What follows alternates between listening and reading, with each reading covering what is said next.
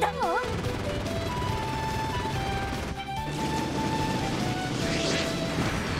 懺悔しなさい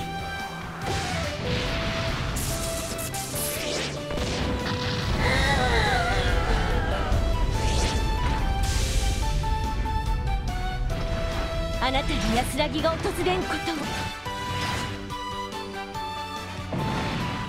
エリカのこの演出いいね。ザカリエルっていう技のね。オリジナルでこうやって1個技を作ってくれてるっていうのは、だいぶこう贅沢な感じしますね。さあさあさあ やりましょうやりましょうあれ。合体攻撃。多分できるよね、この状況。できない。なんでなの？合体攻撃相手はいるよね。これなんで選べないんだろう？気力。大神さんの気力がちょっと足りないのか。ああ、なるほど。気力をどうにかする方法を見つければいいんだな、じゃあ。大神さん自力で10。体調コマンドあるよ。いろいろ見ると、ああすごいちょっと皆さん。風林火山あるよ、ちゃんと。嘘だろ？何このゲーム？自由にいろいろ組み込めるんだね。へえ。この今選んでる範囲の人たちに効果があるよっていうやつか。へえ、面白。何これ？面白いな。あ、で、やればちゃんとあれ、隊長コマンドの時のあのモーションとかやるのかな？あまあ演出はないか。普通にこうやってみんながなるっていうだけね。そんなのあるんだな。面白。そこ。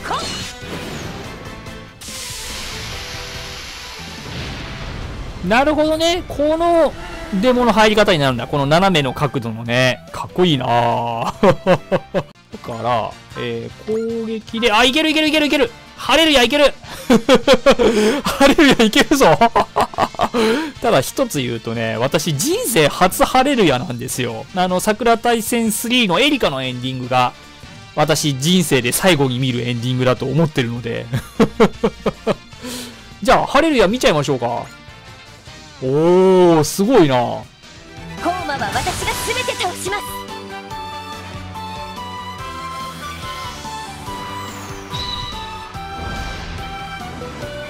大神さん。エリカここに。幸あれ。ハレルヤ。これ仲間のみんなどう見るんだろうね。相変わらずハートの演出だしな。コーマもこんなんで倒されたらおお1万。強いなやっぱり。全ての人たちに幸あれ。俺たちの光で世界を照らしてみせる。黙れよ。こん時だけちょっとアホになんだよな大神さん。コーマの全滅を確認しました。大神隊を保護した時よりもコーマは大量に出現していたようです。そうか。言葉も通じず一方的に人間に攻撃を仕掛けてくる存在。大神隊の話ではコーマとはち土地に眠る怨念が形になったものだそうです。うーん DVD によって継続的に出現するようならば無視できない脅威となりますね。まずは大神隊員のお仲間の方から事情を聞きましょう。コーマとの戦いは終わりましたがあちらは一悶着あるかもしれませんけど。わかるんだな。大神さん私たち一体大丈夫だ。え？状況はうまく説明できないしこの先に何が待ち受けているかも正直わからない。だが俺たち3人なら絶対にどんな困難も打ち破ることができる。今までだってそうだった。今回もきっと大丈夫だ。ふふ。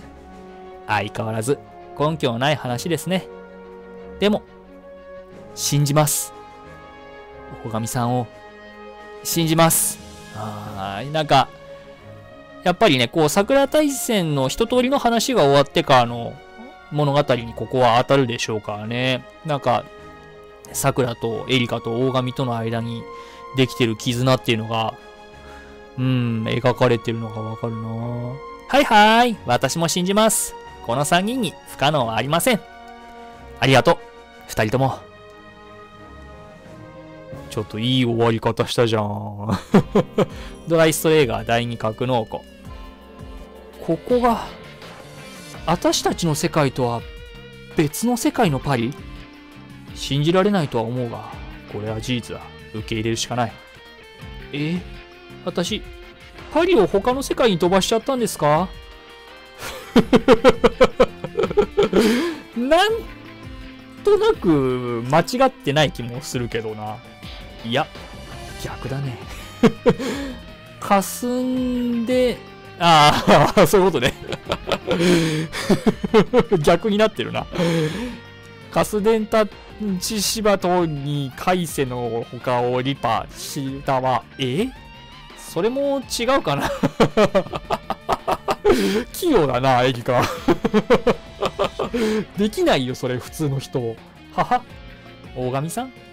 エリカ君はすごいな俺は転移の事実を知らされた時少なからず動揺したけど、エリカ君はいつも通りだ。そうですね。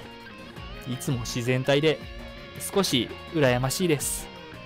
いや、エリカ君だけじゃないよ。さくら君もいつも通り、凛々しく戦っていたじゃないか。だって、大神さんのいる場所が、私たちのいる場所ですから。いやー、さくらさん。だから大丈夫です。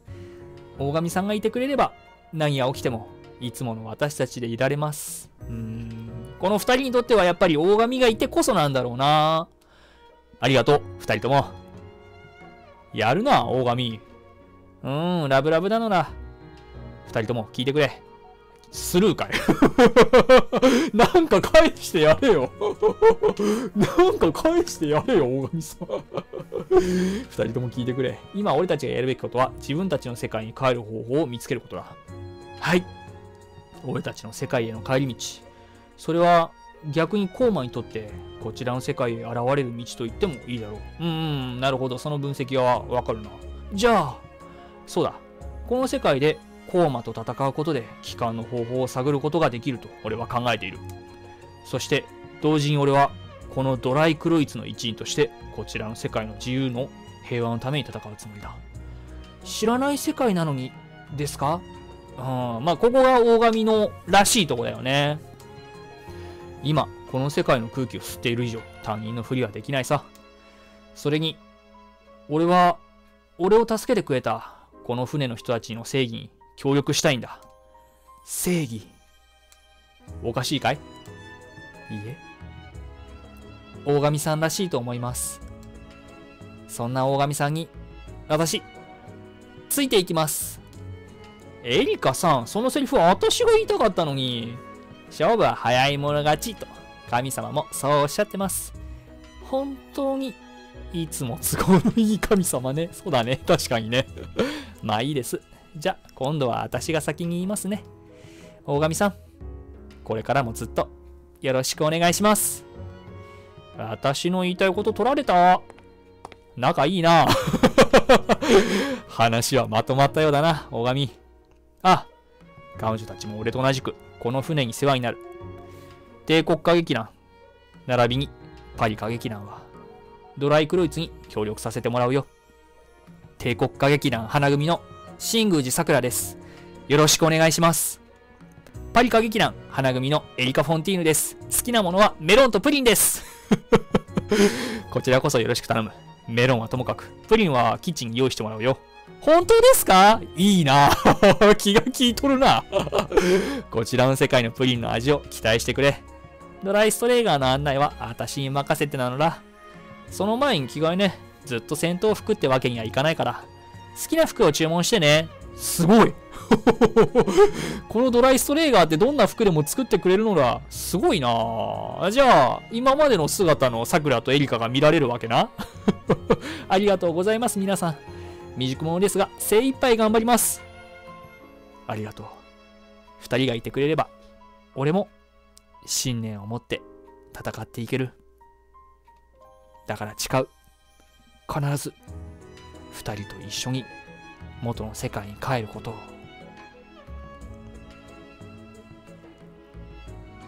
おなんか面白いな。強化パーツ帝国歌劇団エンブレムを入手しました。なんか使えるんだろうね。パリ歌劇団エンブレムももらえるんだな。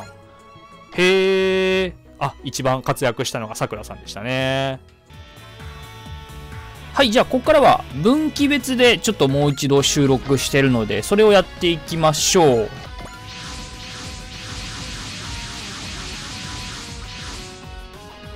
あの白い後部は？いやー希望の光だよな。大神さん？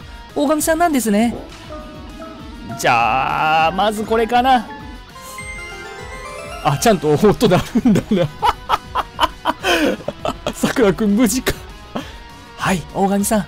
新宮寺さくら健在です。嬉しそうだな。大神さんがいてくれれば私どんな敵が来ても絶対に負けません。ねえいや励みになるんだろうな。おおさくらさん燃えてますね。三葉中佐あの二人は自分の仲間です。ここからは同じかな。大神隊と同じ世界から来たのですね。同じ世界から来てってどういうことです？大神さん、うん、この辺は同じっぽいですね。何言えないけど面白いな。あここは違うかな。はい抵抗過激な誇りかけてコーマを倒します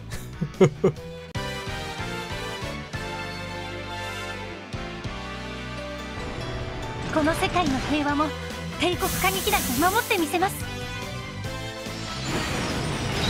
ダセえんだよな。さあ行こう。さくら君ええ。行きましょう。大神さくら君さん。大神さん。二人は桜色。変なの来ちゃったなーって思われてるだろうなドライクロイツのみんなにね。いい動きだ。さくらくん。大神さんと私二人の心が一つになれば敵はいません。こんなセリフあんだね。すごい。二人の息がぴったりなのなくぅ男女の合体攻撃とは羨ましくなってくるぜ。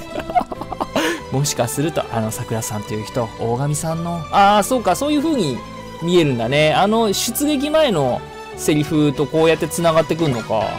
ああなるほど。面白いね。ちゃんとこの辺選択肢別で分岐するんだね。この辺から変わるかな。あちらは一悶着あるかもしれませんけどねのところから。え？さあどうなるでしょうね。大神さん。さあどうなるかな。さくらくんこんな状況だが君に会えて嬉しいよ。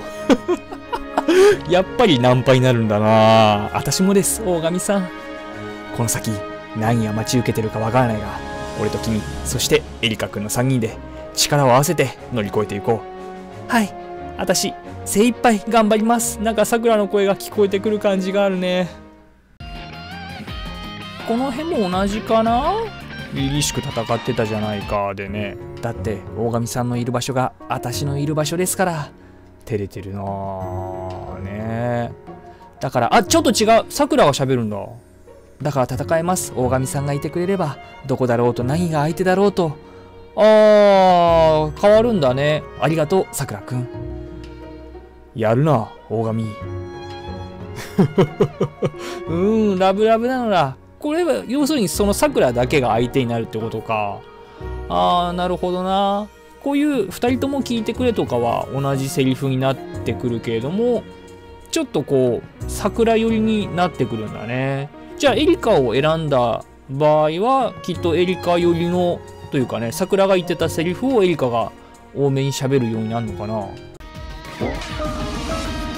じゃあここでエリカくん大丈夫かを選べば変わるんだろうね。これタイムオーバーはあんのかな？あ効果音だけか。なるほどね。じゃあまあ3択だね。よしエリカくん大丈夫か？エリカくん大丈夫か？はい大神さん私ピンピンしてます 久しぶりの大神さんの式エリカ張り切っちゃいますよエンジン全開ですエリカさん輝いてる なんかこのエリカさん輝いてるの方がちょっとさくらの置いてけぼり感があっていいね大神さん、あの人、同じ世界から来たとかなんとか、すごく冗談の上手い人ですね。話は後だ。ここで言う話は後だわ。めんどくせえんだな。はい、パリ過激団を代表して、力の限り戦います。こっちの方が、エリカペース感がちゃんとあるね。さあ、ここだな。大神さん。エリカ君、こんな状況だが、君に会えて嬉しいよ。桜に怒られそう。私もです、大神さん。桜に怒られそう。この先何が待ち受けてるかわからない。あ、でも意外に、そんなにこう、一悶着っていうほど嫉妬してくんないね。はい、エリカ一生懸命頑張ります。そうだな。エリカの方も桜の時に、なんかそんな怒る様子とかもなかったもんね。